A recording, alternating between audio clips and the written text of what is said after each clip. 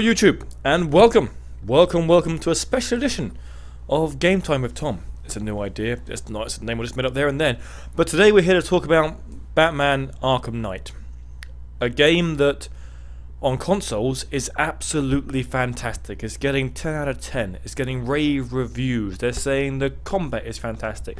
The story's fantastic. The gameplay as a whole is brilliant. Hell, you get to drive the Batmobile, chase bad guys down, and see a plethora of Batman bad guys. It's awesome. So if you're a console gamer, fantastic. However, this is a huge however, if you're a PC gamer, what you've got is a pile of unworkable crap. I bought Batman Arkham Knight on uh, on G2A because uh, Steam keys are not too expensive on there. It's about £25 on it. It's not a small amount of money. About 40,000 yen, about $500. I tried loading it last night it didn't go so well. I loaded it, it was bitty, the frame rate was awful, it was just really bad. So I came out, I changed the settings, made the max FPS 9999, all that kind of stuff, and the game now runs. I'm lucky in that respect. The game runs. However, what it doesn't do is look good. It looks awful. Arkham Asylum, Arkham City look as good as this game. This is a next gen game that has and absurd the the absurd requirements when it comes to playing the game. You need like a 2 gig dedicated RAM graphics card just to be able to run it on low. Luckily, I've got a GTX 970. I've got like 3 gig, 4 gig, whatever it is, tucked away somewhere, so I can run it on normal, which is ludicrous. No game should require power such as this. And if it does require that power, then fair enough, as long as the game is incredibly sexy. But this isn't. I was going to show you some gameplay footage today, but it's not agreeing with open source broadcaster, so I'm not able to do so. But I can talk you through what I've seen so far.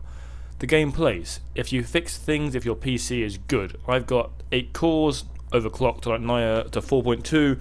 I've got a only 8 gig of RAM, but 4 gig of dedicated RAM in the graphics card, so I've not got a bad machine. It runs everything on Ultra. It should run this with ease on Ultra, and it runs it on high, but it but what it doesn't do is make it look any better. Because the texture quality is poor. When you look at walls, when you look at other people, their faces, everything is poor.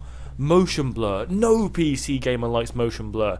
You can't turn it off without crashing your PC. Motion blur makes the game look ridiculous. This game should be awesome. And I think probably in two or three months' time, it will be awesome. And we'll all have forgotten about this. But it's time that PC gamers made a bit of a stand. Total Biscuit has been saying don't pre-order. It's not something I ever really subscribed to until this game. The man's right. You shouldn't pre-order a PC game because you do not know how bad the port is going to be. In this instance, it's disgraceful. Warner Bros. and Rocksteady only really have themselves to blame. Rocksteady, I feel the blame falls less on, you may disagree with me on this, because they were probably pushed into releasing the game by Warner Bros. But how this got through the QA process uh, at Warner Bros, who I know put this out to an external developer to do the port, which in itself is offensive to PC gamers. Why is it that the two console, uh, the two consoles even take priority over the PC gamers? We spend the same money. We buy the game in large quantities as well. So why do we fall behind? If if you know the game's going to be bad, then don't release it. Don't release it to us in the state that Warner Bros. did.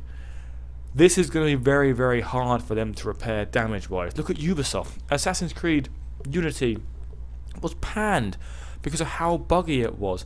Everyone laughed at it. They released free DLC, they made numerous apologies, but since then Ubisoft has gone on to become one of the most hated countries in the gaming the gaming world, in, in the whole sort of industry. I think they may, may even now have surpassed EA um, and taken that mantle as being the most hated.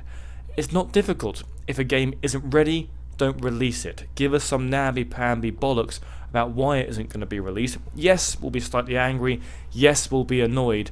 But we'll get over it. What we find very difficult to get over is a game that's delivered and is this bad. It's locked at 30 frames per second. 30 frames per second, sorry. It's glitchy, it's buggy, Bat sequen Batmobile sequences are almost unplayable. This is not a rant that I wanted to have. I love Batman, and I've been looking forward for months to jumping in the Batmobile and running bad guys over, without killing them, of course, and this absolutely poning face. But I've not been able to do so. All I've been met with is bitter disappointment, and I'm not the only one who shares this view. It went on Steam within sort of 40, 50, 60 minutes. All there were were thousands of negative reviews and complete bafflement at how a game, a triple A title of this magnitude, with this much hype, could be released in the state that it was. So it's now off the Steam store.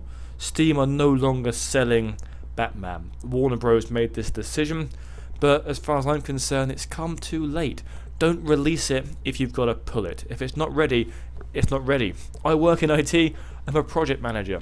If the application just isn't ready to be released, don't release it. If the Harley Quinn DLC was ready, then maybe release that in the interim. Give them something to work with. Do not release a game that's broken. So, that's my rant pretty much over. And what I'd be really interested in hearing, your thoughts below. Let me know how you feel about the joke that has been the release. Are there reasons for it? Are there excuses? Am I being overly harsh? Or am I on point? Has this been a giant balls up that should not happen again? Um, please do let me know your thoughts and feelings below. If you liked it, press that little thumbs up button. If you didn't like it, just pretend it didn't happen. And if you really liked it, there's a subscribe button down there as well. Not entirely sure how many of these kind of informative, vaguely ranty chats I'll have, but um, I guess it depends on how many shit games are released in the very near future. But thank you so much for watching YouTube. It's always a pleasure, and I am Batman.